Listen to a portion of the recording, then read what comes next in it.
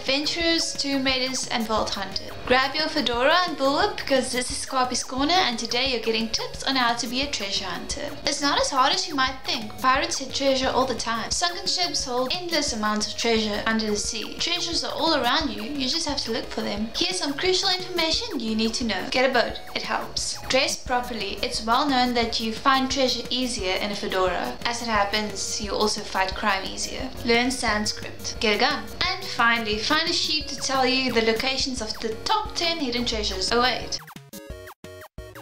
Number 10 we have Forrest Fenn's Riches. When Fenn was 9 he found an arrowhead near his home in Texas. He fell in love with ancient artifacts after that. After becoming a pilot in 1960, Fenn often flew to Pompeii looking for hidden treasure. Ooh, pilot! In 1980, Fenn was diagnosed with kidney cancer and told he only had a few years to live. So he hid his most beloved artifacts and gave everyone clues to find them, which he estimates to be worth around 1 to 3 million dollars.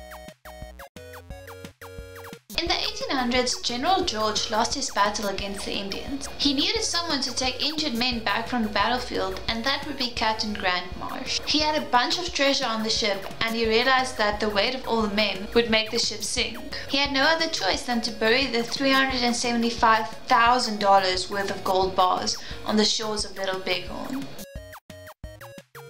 It might sound like totally nuts that a boat sunk in the desert. Obviously wasn't a desert back then. But if it's true, millions of dollars worth of pearls are still at the bottom of the sea.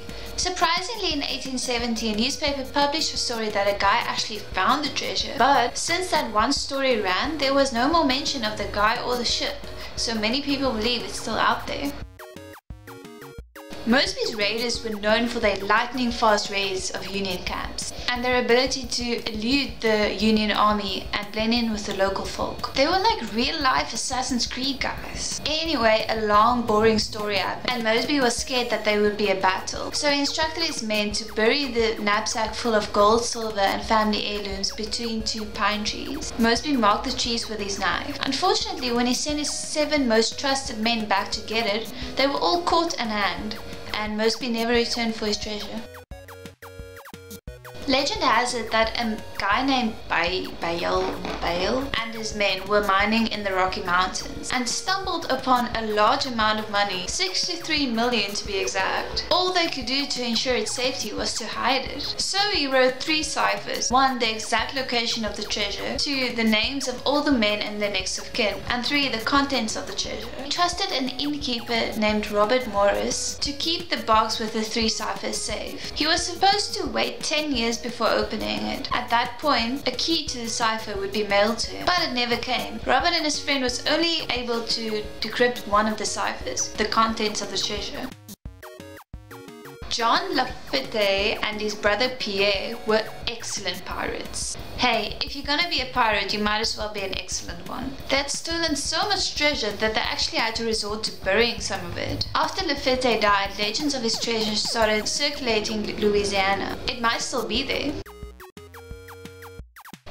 Cassidy was a great outlaw of the Wild West. So much so that he formed a group of outlaws called the Brady Bunch. No, I'm kidding, the Wild Bunch. Before the lawman was on his trail, yep, you guessed it, they buried $20,000 somewhere in the Irish Canyon.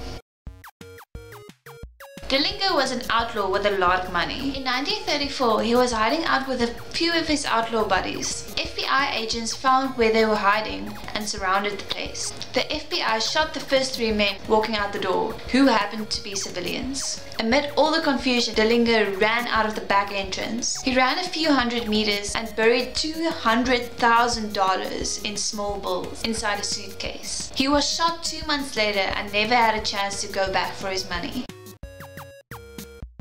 In 1622, a Spanish ship was caught in a hurricane off the coast of Key West. Many ships perished in the hurricane. They were carrying enormous amounts of silver, gold and gems worth about $700 million today. Some of it has already been found in 1985 by a treasure hunter by the name of Mel Fisher, former student of mine. He found about $500 million, but experts believe there's still lots to be found. The original captain's manifest states that there were 17 tons of gold bars, 27 kilos of emeralds, and 30 35 boxes of gold.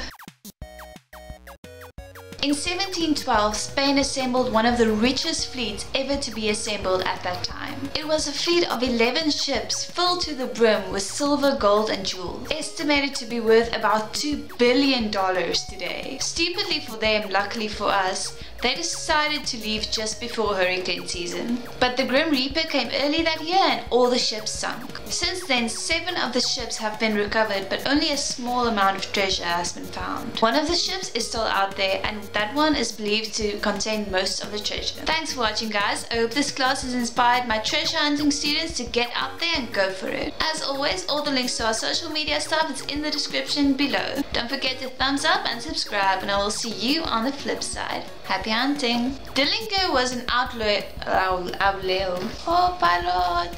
You pilot! You pilot! Would make the ship ship ship ship sink.